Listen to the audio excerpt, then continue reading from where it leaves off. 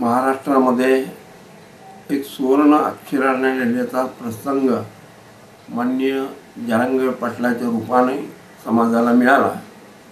परंतु ही चळवळ गेली अनेक वर्षे कैलासवासी अण्णासाहेब पाटील ज्या वेळेला सोलापूरला त्यांचं आगमन झालं मंगळाराहून त्यावेळेला जुन्या पोलीस लाईनला सगळा मराठा समाज त्या ठिकाणी आलेला होता. तेव्हापासून ही चळवळ होती.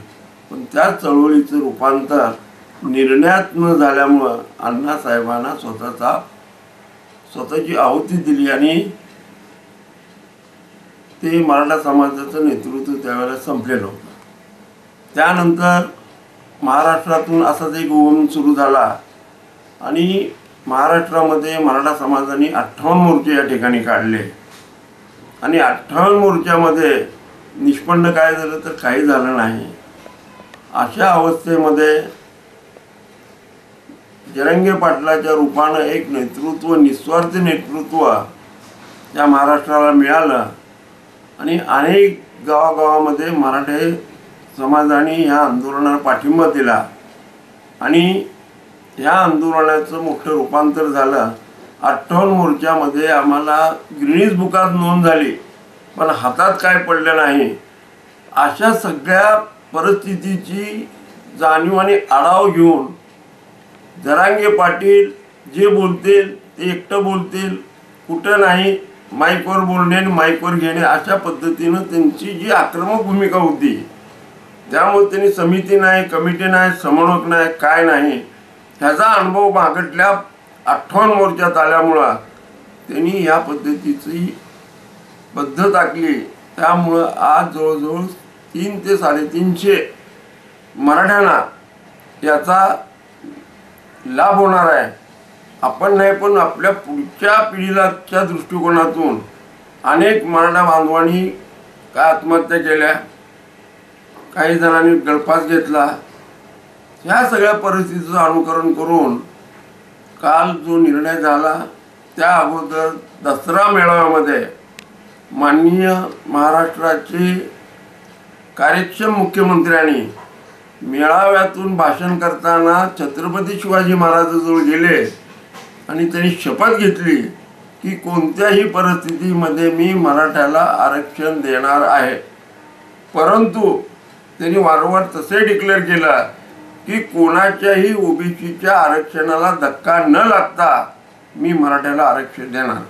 आज सुद्धा वारंवार ते सांगतात परंतु काही स्वार्थी लोक राजकीय लोकांनी त्याचा दुरुपयोग करायला सुरू केला. ज्यावेळेला महाराष्ट्राचे मुख्यमंत्र्यांनी सांगितले अनेक मंत्र्यांनी सांगितलं की ओबीसीला धक्का न लावता तुम्हाला आरक्षण दिलं जाईल. आणि ही सगळी कैलासवासी अण्णासाहेब पाटील असतील जरंगे पाटील असतील जरंगे पाटलानं जो उगम मुंबईमध्ये नेला त्याची दखलही मुख्यमंत्र्यांनी घेतली. मुख्यमंत्र्यांनी स्पष्ट दसरा मेळाव्यामध्येच डिक्लेअर केलं होतं की मी छत्रपती शिवाजी महाराजांची शपथ घेऊन सांगतो की मराठ्याला आरक्षण मिळाल्याशिवाय मी स्वस्त बसणार नाही. आणि हे आरक्षण टिकणार आरक्षण दिलं जाईल त्यासाठी मला थोडा वेळ द्या. त्यामुळे वेळ पण दिला. जरंगे पाटलांनी त्या पद्धतीनं त्यांनी व्यवस्थित हाताळलं.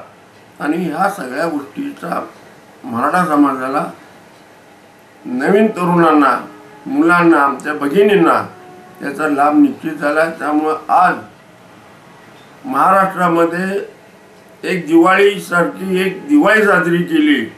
त्याचा आनंद सर्वाला आहे. आणि त्याचं श्रेय जरंगे पाटील आणि मराठा समाजाच्या मुख्यमंत्र्याला मिळालं आहे असं बोललं तर ते वावगं ठरणार नाही.